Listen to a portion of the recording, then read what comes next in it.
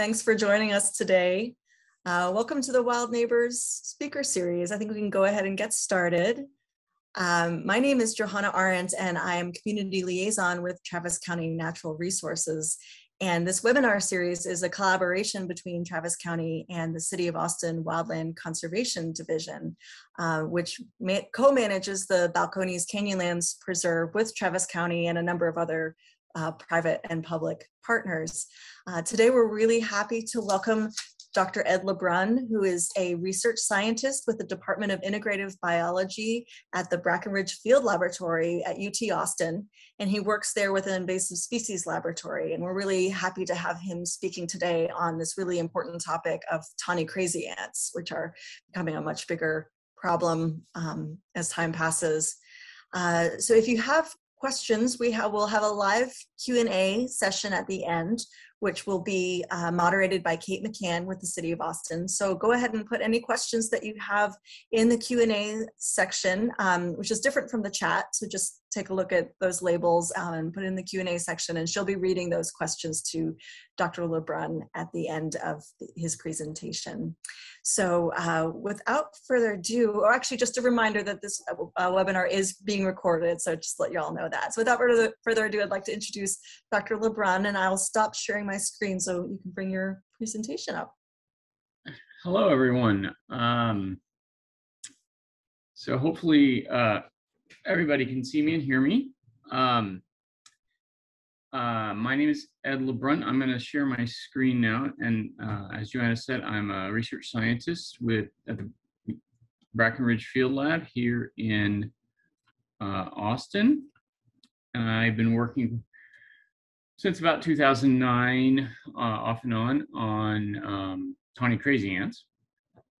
Uh, and so today I'm going to be uh, telling you guys uh, about um, a uh, variety of topics in sort of basic biology of tawny crazy ants, things we've learned in studying them since we began work on this in 2009. Um, but obviously I'm speaking to you because uh, there are crazy ants that are impacting the Balcones Canyonlands preserve system. Um, and so at the end, I will circle back to sort of more local stuff and talk about sort of where they are in Travis County and um, how to stop spreading them. And we can talk in question and answers about uh, what folks can do to, to uh, limit their spread. But most of the talk will be um, more basic biology. Uh, so um, I'd like to thank my collaborators in this, which are uh, Larry Gilbert, Rob Plowes, Pat Folgarait, Martín Bollazzi, and Melissa Jones, um, and then that have worked specifically in this research. Um,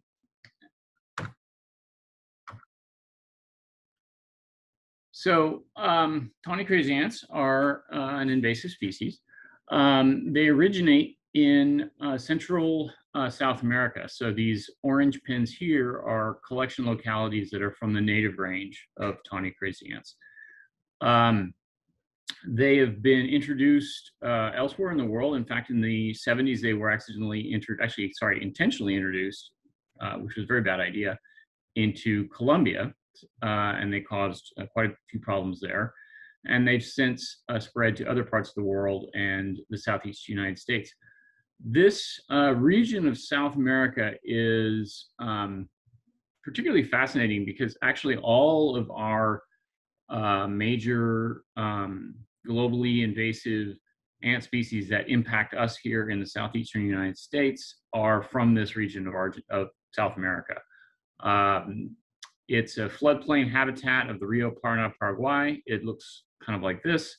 And this is where imported fire ants are from. It's where Argentine ants are from. Where other kinds of imported fire ants are from.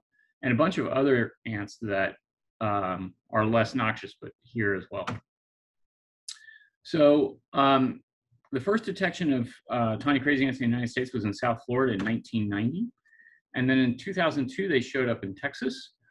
And then you can see that uh, rapidly after that, uh, new populations in new counties sort of spread throughout the southeast. And this is, you know, seven years out of date now. So quite a bit more of this process has gone on in the interim. Um, and some sort of climate-based modeling that projects projecting suitable regions of the United States for these ants uh, is shown here. In this modeling effort, uh, it's using occurrence records in the native range and the uh, environmental characteristics of those uh, areas to project suitable habitat in North America. And it's a probabilistic assessment. So anything uh, basically dark yellow or darker is likely to be good habitat for uh, from a from a uh, strictly uh, climate perspective, really uh, good habitat for tawny crazy ants.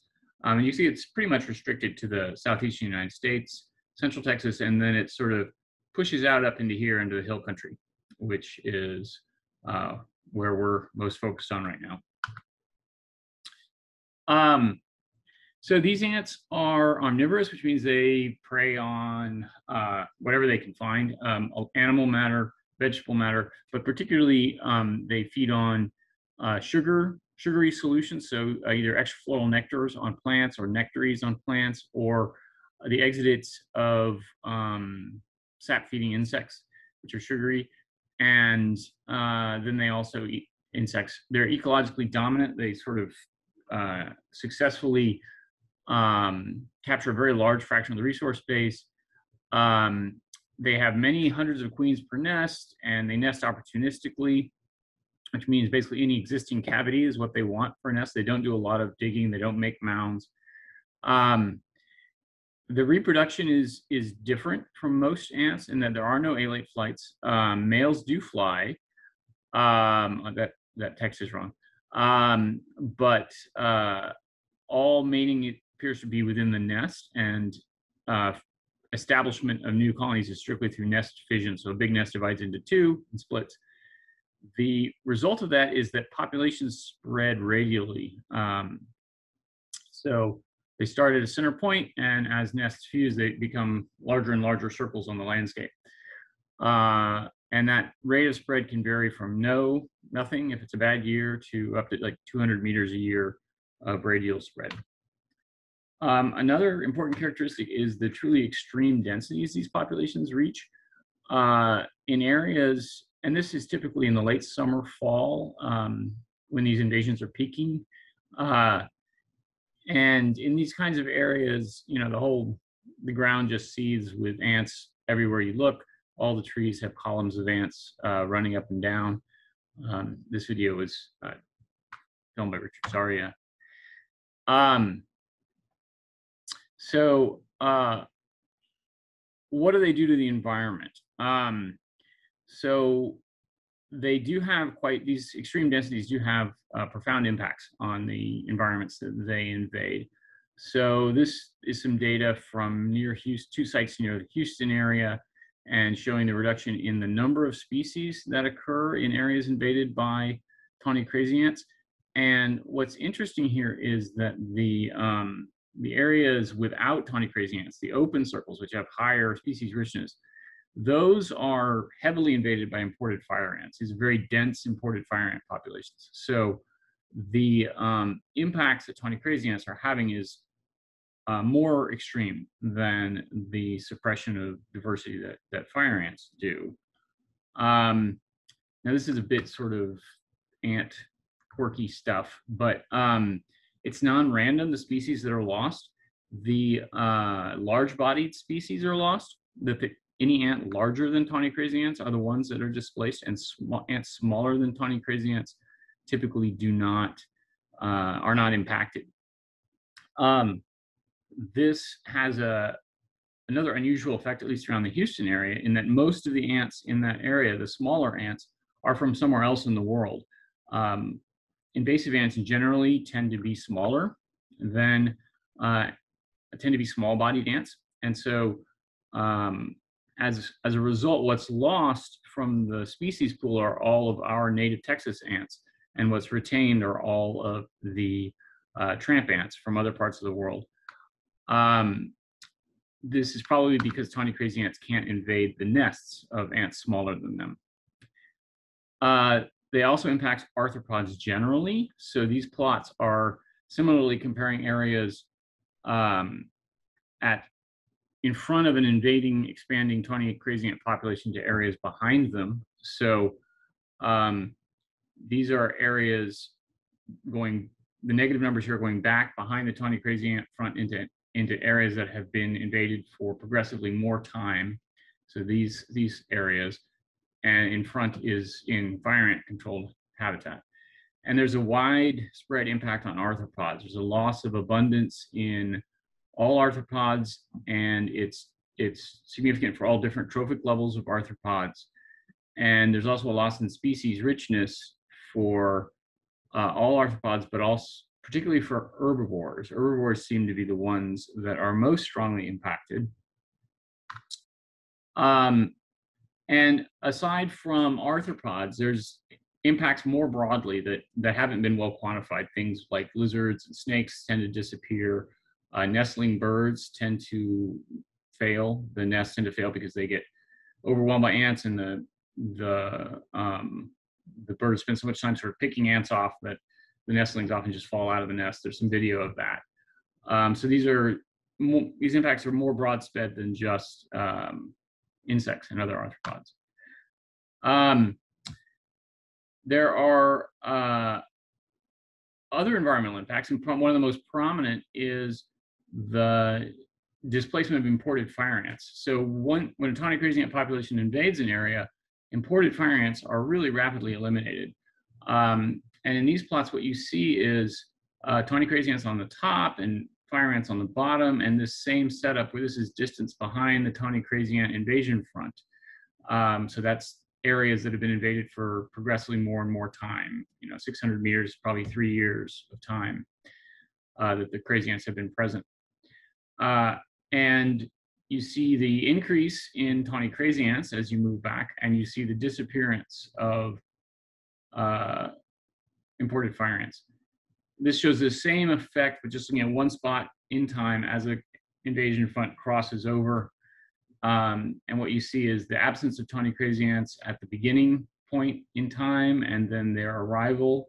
This is a seasonal oscillation in abundance that becomes very important later on in the talk. Um, it's very common that crazy ants have very high population abundance in the late summer and fall and very low in the spring. Um, but other ants show the same because it's also partially activity. But then uh, back to the main point, um, fire ants uh, densities goes down and then it crashes to zero. So they eliminate fire ants.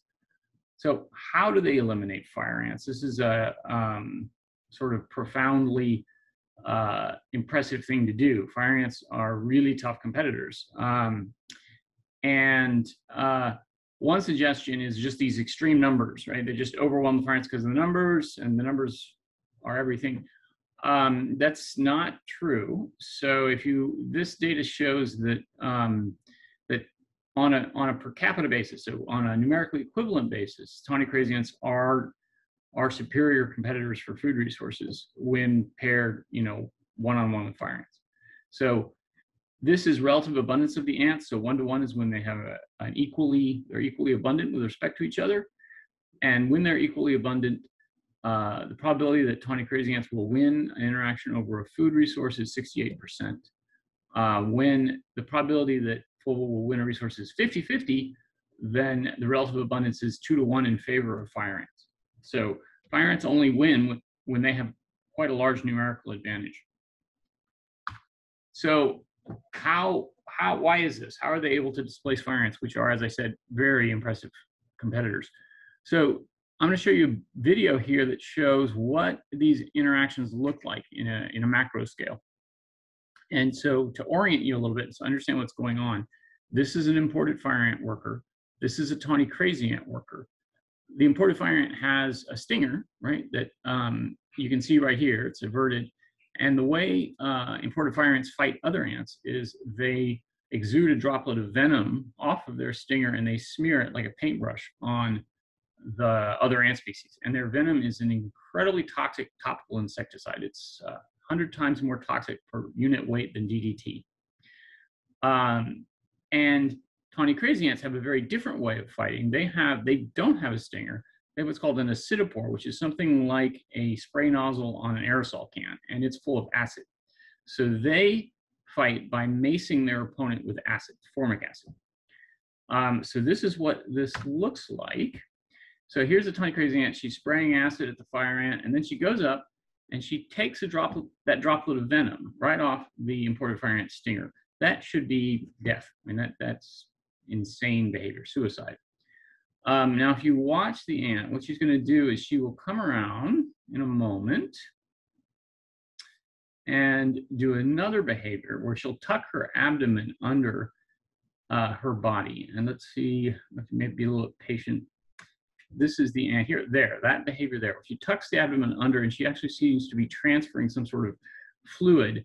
And then she goes right back up um, to the fire ant, does that behavior again, goes up and takes that second droplet of venom there. Again, should be suicide. This is what this behavior looks like uh, in isolation. I've applied the venom to the ant this time, and she's going to tuck her gaster, and you can see the transfer of fluid as she takes something from her acidopore and she starts spreading it all over her uh, mouth parts and antenna. And this um, looks like for all the world that this ant is trying to detoxify fire ant venom. And so to see if that's what's going on, we did some experiments. And the short answer is yes. Uh, tawny crazy ants can detoxify imported fire ant venom. Uh, they, um, to do this, uh, we uh, basically closed off the acidopores and tawny crazy ants using nail polish, and we, we challenged them in arenas with fire ants. And then other ones we allowed, we sham treated so that the nail polish was applied to a different part of their body and they could still exude their uh, venom. And um, the sham treated ants survive uh, conflict with imported fire ants 100% of the time. And those with their acidopore sealed died 50% of the time. And they were only allowed to very briefly contact fire ant venom in these experiments. Um, and we did some more work and we demonstrated that the compound involved is the formic acid.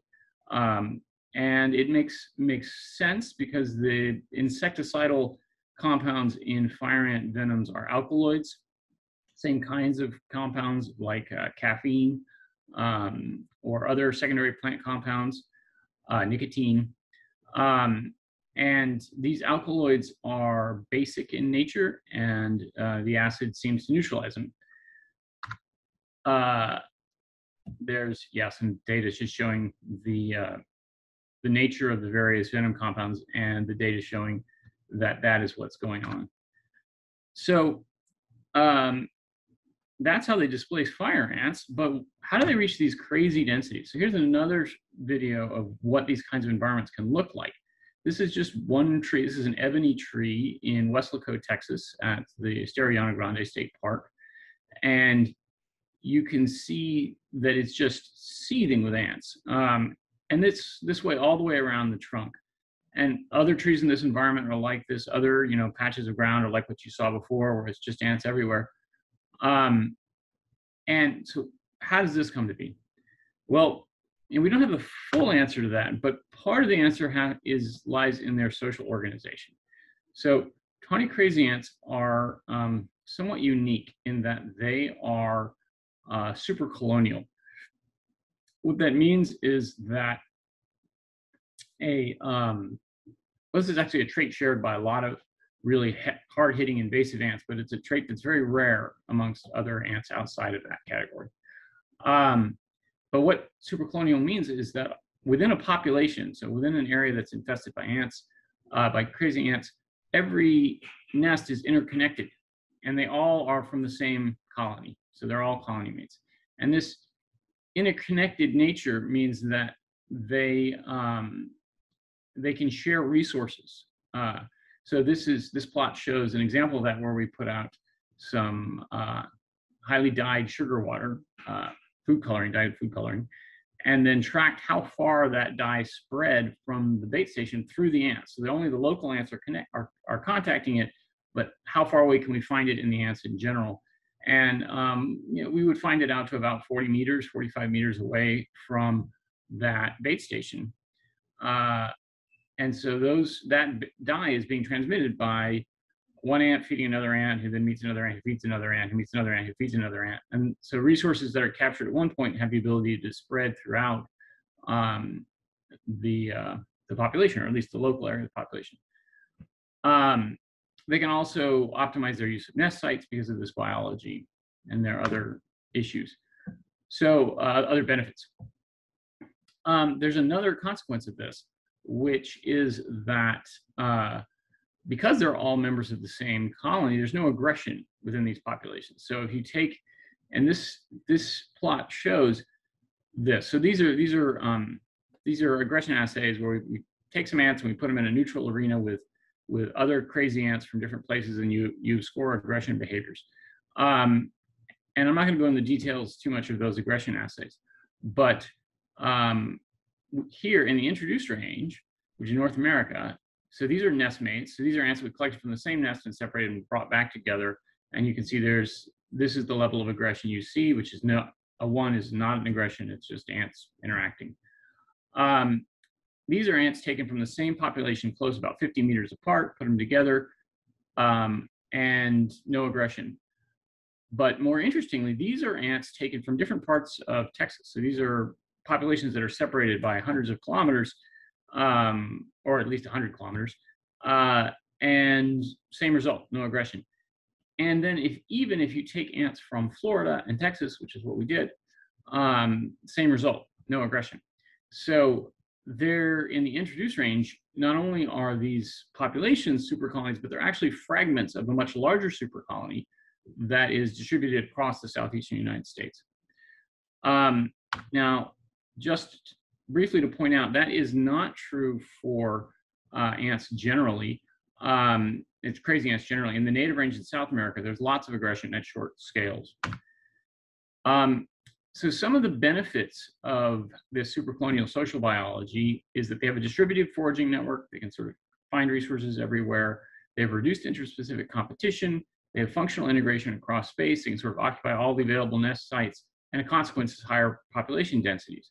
But there is a hypothesized ecological cost. I say hypothesized because nobody's ever really demonstrated. It's just been talked about a lot, um, which is that these types of social entities should be more vulnerable to pathogens. And you can imagine that if a disease is able to get into one of these nests, it can spread through that network of interactions through to the whole population potentially. Well, uh, in, uh, when was it? I guess in about 2014, we found a pathogen of tawny crazy ants, and it's one that's already present here in the United States. We found it in populations in Florida and in Texas. Um, it's the first documented pathogen of, of this ant. And since then, there have been some viruses that have been found uh, in South America. Um, and uh, it has, it's a microsporidian. Okay, so let me explain what, and when we don't know where it came from, let me explain what a microsporidian is. But it has it has distinct spore types. So this is uh, one spore type. This type 2DK. There's another. This is an octospore, second, third, uh, second spore type. But microsporidian pathogens, um, they're specialized single cells uh, organisms that reproduce inside the cells of their hosts. So they're called intracellular pathogens, and they're related to fungi. Uh, they have a, a very virus-like biology. So the spore that they form, which is down here, has what's called this polar tube, which is this coiled spring-like tube and this vacuole in the back end of the spore. And when they contact their host cell, they fire this spore out and it has a harpoon tip and it penetrates the host wall of the wall of the host cell and they basically squeeze their entire um, cellular contents down this tube and into the host. Uh, and then they go about reproducing. Um, so to understand a little more about this, we first started this past, we first started looking at sort of how it gets around in the colonies. So these is these are um, all the potential ways that that a pathogen could move within a colony of crazy ants. So this is the queen, this is a worker with um, eggs, so workers tending brood, which is the larvae, and then these are the pupae. Um, and then these are adult workers again. Uh, and what we found was that surprisingly, there's really only one pathway for transmission, and that is uh, when an infected worker takes care of an uninfected larva. That then develops into an infected pupae, which develops into an infected worker, and it cycles within the, the ant colony like that. Appears as if only uh, larvae are uh, susceptible to infection. So, um, what does it do to the ants? uh, in a we did a, conduct a laboratory study in which we gave fragments sufficient sugar or insufficient sugar, and then we and then they were either infected or uninfected fragments, and we followed their uh, trajectories of growth or decline. And um, what we saw was that uh, that the microsporidium impacts crazy ant colonies by reducing larval developmental success and shortening worker lifespan quite a bit. And it does so much more strongly when the ants are have are stressed for sugar when they don't quite have enough sugar than when they have all the sugar they need. Um, so but how do these results translate to nature? What is this pathogen doing to uh, tawny crazy ant populations i told you we found this in florida and in texas it's not something that we brought up from south america um, and uh, the answer is it does quite a bit. Uh, so the um, this plot on the left shows populations that we've been we studied over a period of 12 years, um, and we were able to go back that far because we, even though we only discovered the microsporidium in, in 2014, was because we had um, uh, samples in the freezer that, that we've been collecting information on abundance, and we could go back and test for infection. Um, and what following populations uh, longitudinally through time, um, so going back every fall and sampling year after year after year, measuring abundance and, and checking uh, disease burden infection of the, the ants, um, what you see is that with as disease burden of, of nests goes up, the local abundance of ant, crazy ants goes down. And over time, in this plot, the uh, this is elapsed years. Um, oh, this is a little bit older plot, but this is elapsed years until the disease prevalence uh, equals 100%. So at zero, these populations, every nest we test is infected. Um, and these are all populations that were um, uninfected. And so, and this is their abundance. And you can see that over time it declines um, quite dramatically. Uh, so this sounds like a fantastic uh, potential as a biological control agent. And so we've been begun work on that, and we're we're we're making good progress. Um, and the first uh, two sites we've attempted as we've, we've introduced into more, but first two sites we have data for um, are this uh, Whirlpool Cave area, which is in the Convict Hill region, and Estero Grande State Park in Weslaco, where I showed that um, that tree that was seething with ants. Uh, we inoculated the populations by introducing infected ants into them and then followed the disease spread and what happened. Um, and what happened was uh, fairly dramatic. So um, the prevalence of Nylanderia, uh, of Nylanderia, which is this microsporidium, went up, was spread. The incidence of disease burden went up with time, and the crazy ants actually both collapsed to local extinction within about two to three years after introduction. The ants are now gone from those sites. Uh, they, we're, we're occasionally seeing some things pop up now at Whirlpool, very small incidences, and we're trying to understand that better. And we haven't seen them at Estero since. Um, why are these things declining to extinction? Um, this is a weird thing. Pathogens don't normally drive their hosts extinct. Uh, the um, we think the answer is this. So these are following um, nest fragments in the laboratory. And what you see is that uh, uninfected ants nests for all seasons sort of have the same survivorship curve. This is the number, the fraction of the original number of nests that are surviving after a certain amount of time. But infected nests, if they were collected in the non-growing season, so the winter, fall, winter, decline very rapidly to, to extinction. And in the summer, they decline more rapidly, but not as much so. and what we see in uh, nature is just that. So in winter time is when populations come way down. And in winter, the queens stop producing eggs and larvae. So there's no there's no new workers being added to the population, young workers. It's just old workers that have to make it through the winter. And so it appears that this shortening of lifespan is such that the older infected workers are unable to survive from the fall to the spring when new workers would replace them. And so that by spring in these infected populations, the queens are left with no workforce. Okay, so shifting gears to more local stuff. Um, these are all the sites in uh, that I know of that are infected with tawny crazy ants. Uh, this as of right now.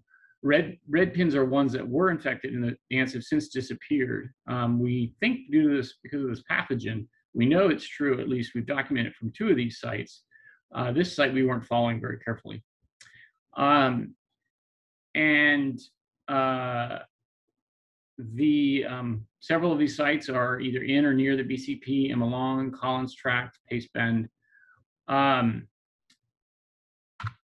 and it's important to understand that these ants aren't just getting there on their own. They're getting there because people are bringing them to these sites. Um, and that's the only way they get to them because they don't have a wing dispersal. So it's really important to um, to be careful about what you do. So be careful about moving potted plants. Check them for ants. Be careful if you go to the nursery and you buy a plant. Check it for ants. Um, uh, be careful in bulky pickup. Don't don't go around picking up things without checking them for ants. Um, these are these are populations where we are sort of by mapping the, the edges and going to the center, we can kind of guess as to how they got there.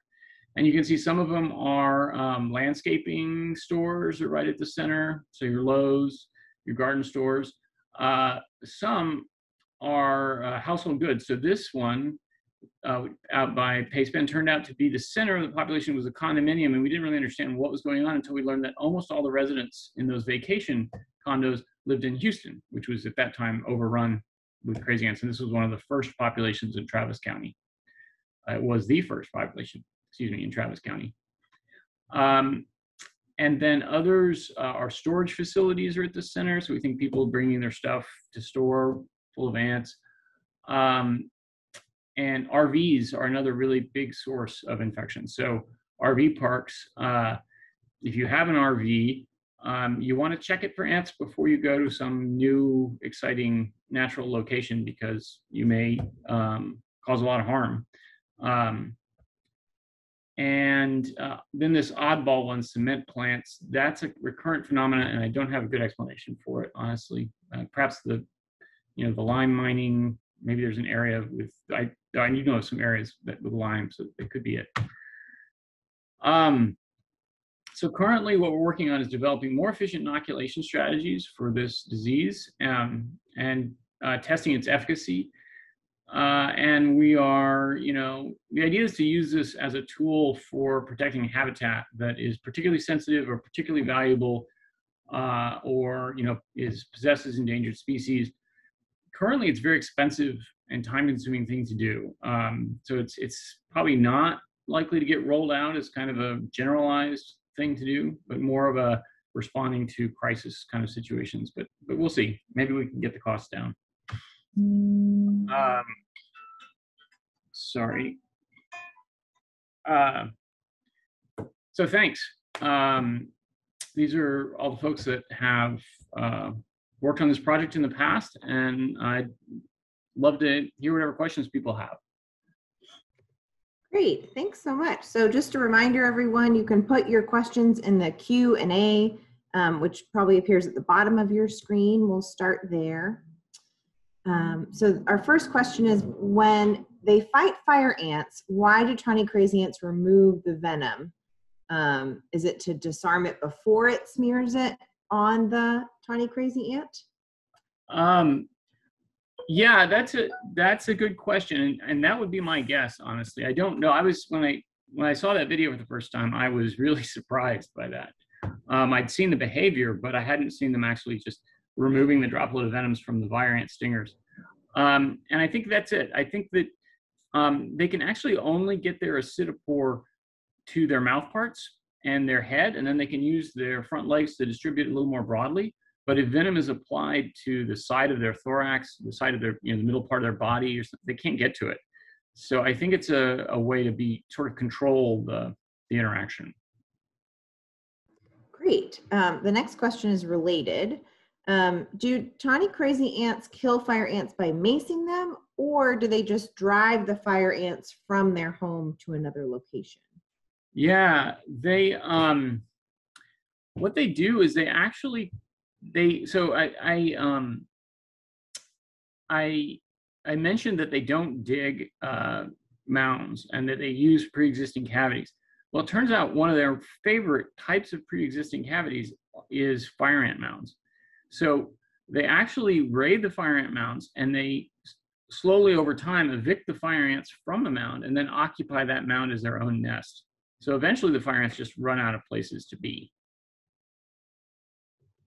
Thank you. Um, and uh, another kind of related question, why not let the tawny crazy ants outcompete the red imported fire ants before introducing fungi into those populations? Um, well, we don't we don't have quite that level of control.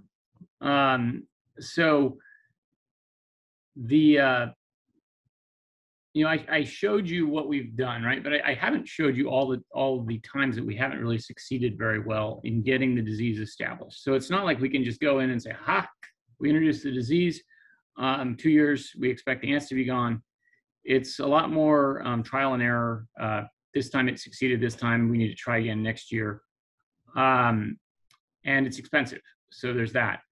Um, just the the labor. It's very labor intensive. Um, but uh, the other is that even though these ants are quite effective at eliminating fire ants, and then the disease is uh, when we get it established, and there's you know about three more years for things to percolate, um, very effective at eliminating the ants. Um, fire ants come back very rapidly, so it's not like fire ants are gone long term. Now, once once the tawny crazy ants are gone, um, fire ants are back uh, and it's because that's actually fire ants' niche. Fire ants, their niche. That's what they do. They colonize disturbed environments where there are openings in the ant community. Thanks. Um, and uh, a neighbor near Emma Long Park, one of the areas that we've um, is close to the Balcones Canyonlands Preserve, asked, should we change our strategy on controlling fire ants um, if we live near Emma Long or just continue as we normally do? Um, I, it's I don't know. It's kind of a personal choice. Um, it certainly uh, depends on. Um, fire ants do provide some measure of resistance to tawny crazy ants. They don't. When the tawny crazy ants are very abundant, they aren't very successful at displacing them. Uh, they aren't. They aren't very. They aren't very successful at keeping tawny crazy ants out. Um, if you know but if you happen to be allergic to fire ant stings i'm certainly not going to tell you not to you know control your fire ants um, i think it's a personal choice great so we've got a couple questions about microsporidium and then we're going to kind of switch and talk about um, what we can do to prevent the spread of tawny crazy ants so um, the first microsporidium question is um, how does it affect or does it affect other species specifically native species yeah, so that's a very important question. Um, so normally we would not do this sort of thing without a huge amount of testing um, because we would normally, when you're talking about introducing a natural enemy, you're bringing it from South America or wherever the invasive species is from. And in this case, it's already here and it pops up regularly. We see it um, on its own colonizing populations and we don't know why or how yet. Um, so that changed the calculation some, but we have done a bunch of work despite that to assess how specific it is and what else it does.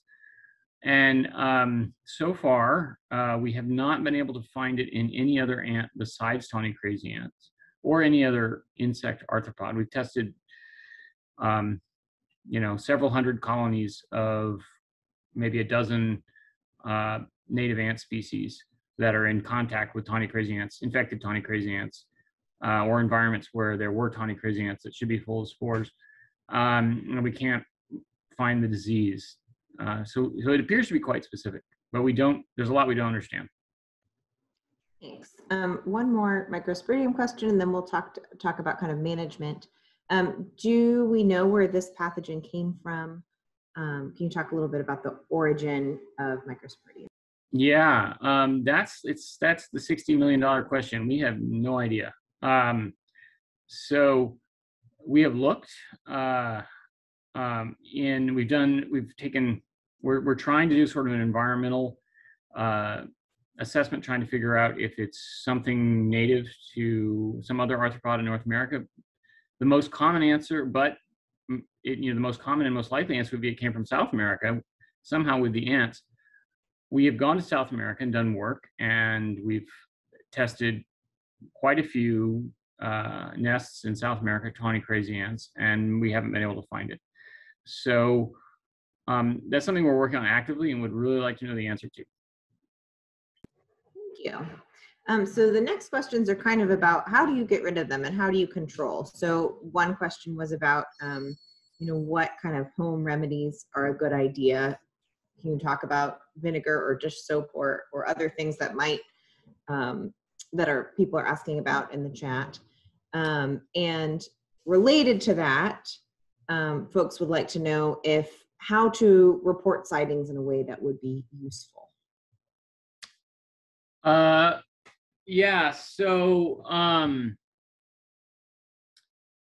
the so okay. So I guess starting with the remedies. Um, there aren't a lot of great home remedies, um, but I, you know, people should certainly try, you know, try different things. But the most, the most effective way to deal with them, frankly, is to deal with their nest sites.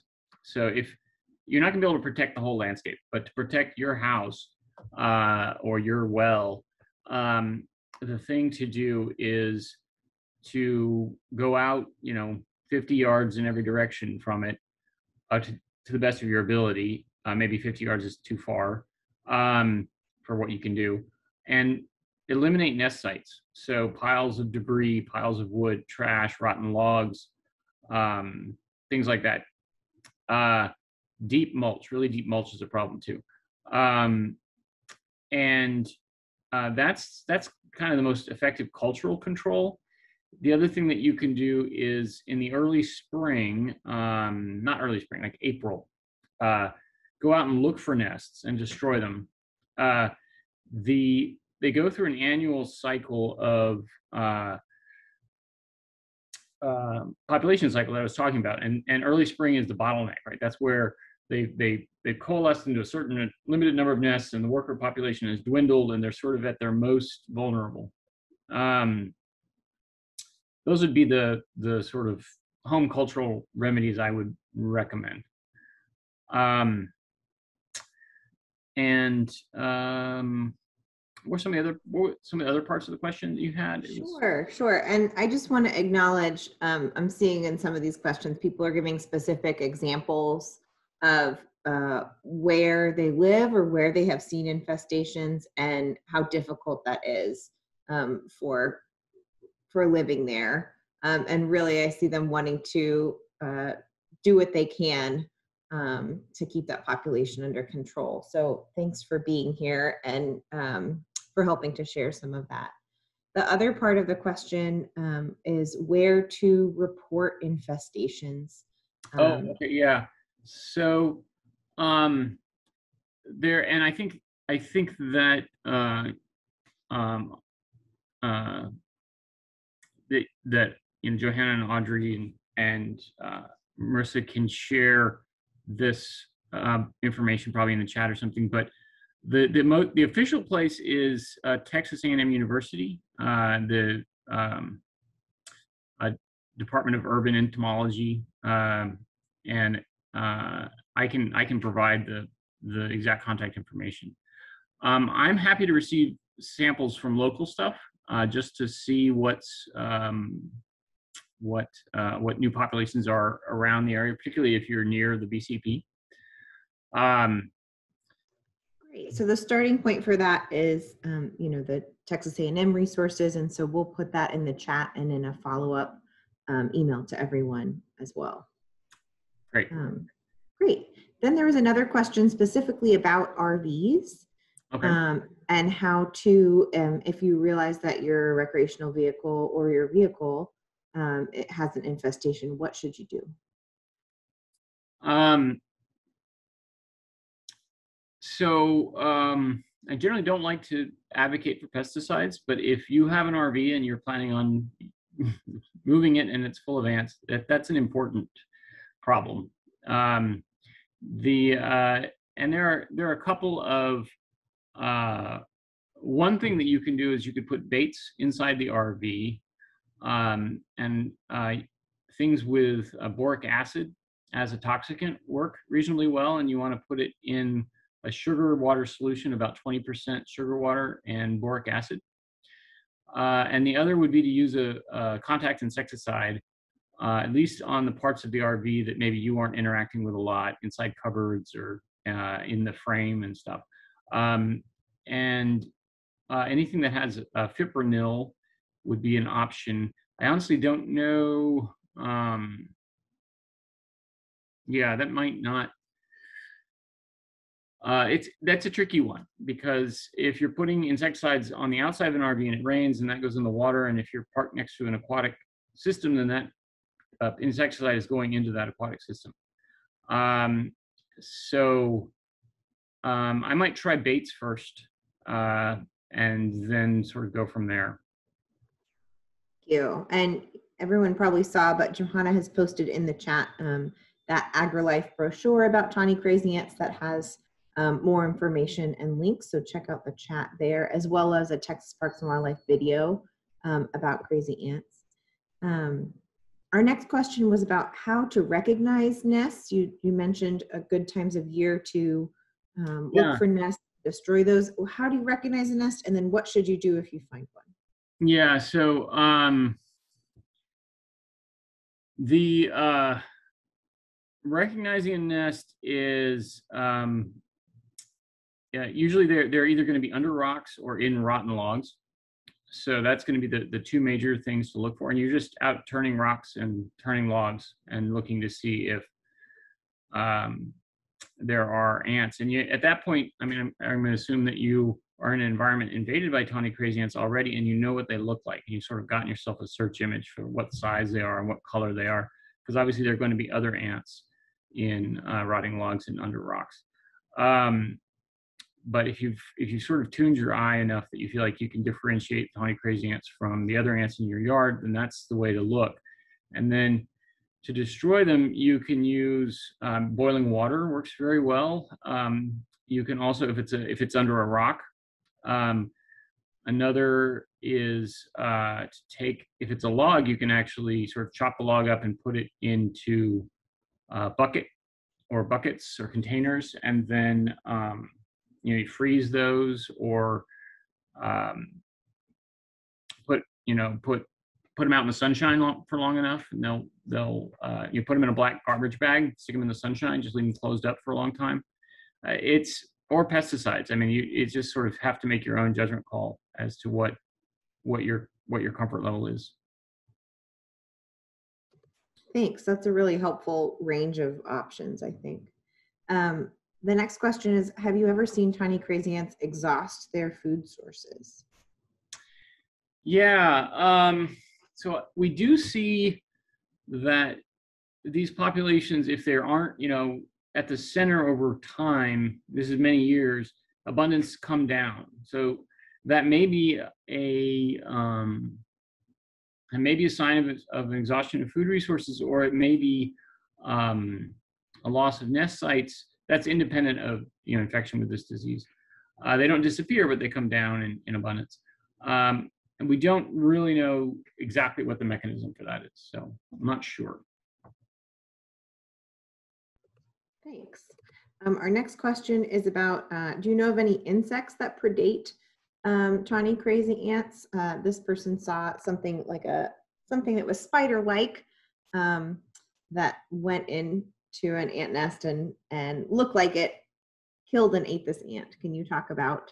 Um, Yeah. So there are there are a lot of um, generalized ant predators that will go after tawny crazy ants, and spiders are a big one. Um, particularly, jumping spiders are big uh, ant predators, um, and then also um, uh, wall spiders are another big ant predator group of spiders. Um, but uh, so yeah, really any generalized ant predator is is uh, ant lions, things like this are um, are definitely feeding on tawny crazy ants in environments where they've invaded. Sometimes in in systems, no one's tried checked with tawny crazy ants at this point, but sometimes it turns out that that invasive ant isn't quite um, a very great food resource, and so that there are pop, there are effects on the predator populations just because they're feeding on low quality food, potato chips. Um, but uh, nobody's really looked with tawny crazy ants. Thanks. Um, so the Balcones Canyonlands Preserve is charged with protecting 62 caves. Um, and it's charged with protecting that habitat because there are unique species there that sometimes are endemic only to, to caves in central Texas. Can you talk a little bit about tawny crazy ant impact um, on caves and how tawny crazy ants use caves? Yeah, sure. Um, so um, I actually did a project on that a while back, uh, and the um, the they definitely uh, impact karst invertebrates, cave invertebrates. Um, they uh, caves are very cold places for ants. They're not they're not very great habitat. So they aren't in caves all the time. So when conditions on the surface are pretty favorable for them, they're pretty much absent from caves. But in the high summer, like now, when the temperatures get up to, you know, start pushing up into the triple digits and the humidity start falling, then um, cave is the caves are actually better habitat than the surface, and the ants flow into the caves because of this distributed network of nests that they have. They can be very opportunistic in their use of space, and so they move into the caves in, in very large numbers. Um, they do the same thing in winter time when it's very cold and cold snaps because then the cave is relatively warm. Um, the but to a lesser degree because usually in winter they found other uh, spaces in the ground already. Um, we don't we don't have data, you know, them specifically on uh, endangered invertebrates, but we did look at a cave with other karst invertebrates, and we did see some negative impacts on um, invertebrates uh, through direct predation by tawny crazy ants. Um, um, yeah, did I miss any part of that question? No, great, thank you. Um, we have time for just a couple more questions, so I'll I'll share these with you.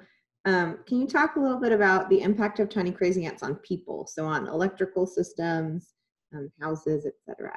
Yeah, um, I, you know, I ha- I have talked to a lot of folks who live with these things, and um, when these populations are very dense, they are incredibly annoying. I mean, they're they're more than annoying. They're they're um, so they're you know they people who apply pesticides, perimeter pesticides around their house, you know, end up with these huge drifts of dead ants around their house, uh, inches deep and inches wide. Um, and uh, if they have a well and they're living off that well, that's a very problematic situation for them because the well houses often has great environments for the ants to be, and the contact points of the pump get clogged with ants and short out. So people are always having to replace their contacts on their well and deal with the fact that their water's out. Um, and then electrical boxes in general, which are full, you know full of wires and kind of tightly packed, create a space with the right sort of size um, uh, holes for for what they like, and so they move in, and uh, then they they short out the electrical system. Um, so yeah, they cause, and that can cause a lot of problems for industry. A lot of pumping, especially pumping industry that relies on pumping. Um, a lot of pumping stations in Houston and things that were um, uh, knocked out in the initial stages of the invasion before they really realized how intensively they had to treat these uh, facilities in order to keep the ants down. And of course, treating the facilities with those intensities leads to the indirect effects of pesticides in the environment. So it's uh, it's kind of a not really a win-win. So it's a no-win situation in that regard. Yeah, yeah.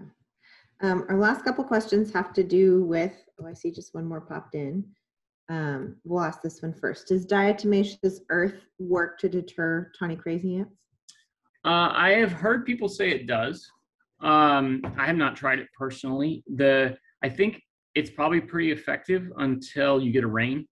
Uh, so if and then just like any um, uh, if you're in a very dense population, any barrier like that, they will eventually overwhelm it. So it's kind of thing where you'll have to continually refresh it um, if you're using it as a as a barrier treatment. Great. So our last questions are kind of about your experience. Um, is this a population that you ever expected to study or, or kind of can you tell us a little bit about um, the trajectory of your work? And then our very last question is, which do you prefer, tawny crazy ants or red imported fire ants? Someone wanted to know. I'll take the last question first. Uh, I prefer fire ants. Um, there's just a lot more diversity left, and that's my bias. I really like diversity, uh, but there's a lot more diversity left when they're in in fire ant invaded habitats than there are in tawny crazy ant environments. Um, but you know, these tawny crazy ants appear to be like a little more short-lived populations. We, there seems to be some hope there. Um, so, uh, in terms of my trajectory, I um, I I got a degree in ecology, and I was very interested in ants, and I started studying invasive ants. I started out working in Argentina, um, looking at the interaction between fire ants and Argentine ants in Argentina, which is where they're both native. I was talking about that region of South America where all of these heavy hitting invaders are from. Um, and then I came here to work on imported fire ants uh, and their biological control with uh, phorid fly parasitoids, because actually that's what I did my research on for my PhD was in not that, but phorid flies parasitoids that that attack ants in the genus Pheidoles, a native system in Arizona. Um, and I worked on that for many years. And then um, I started, I saw some of these tawny crazy ant populations and I just saw how amazingly abundant and how amazingly impactful they were and um, just decided that, you know, I needed to work on this. Thank you. Well, we really appreciate your time um, spent today uh, talking to us. And um, just a reminder for everybody who's watching that if um, you have questions about Tawny Crazy Ants or want to report, use those links in the chat. Um, and if you have Tawny Crazy Ants um, where you live and you'd like to send in a sample, we could help um, help to coordinate that. Great. Anything else I'm missing? I think that's it. Just thank you so much, Dr. LeBrun. I really appreciate you taking time Sure. out to tell Thank- us all about this. Thank you guys for the invitation. Always glad for a reason to uh, do outreach. Appreciate it. Great. Awesome. Thanks so much. Bye, everybody. Bye.